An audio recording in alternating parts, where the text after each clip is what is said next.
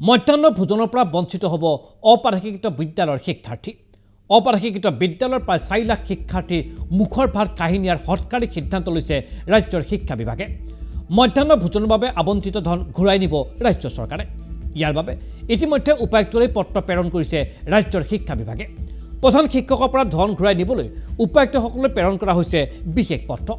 ধন ঘূৰাই নিয়াৰ সিদ্ধান্তত অপাঠশিক্ষিত বিদ্যালয়ৰ পৰা চাৰি লাখ শিক্ষাৰ্থীৰ মাজত এতিয়া হাহাকাৰ পৰিৱেশৰ সৃষ্টি হৈছে।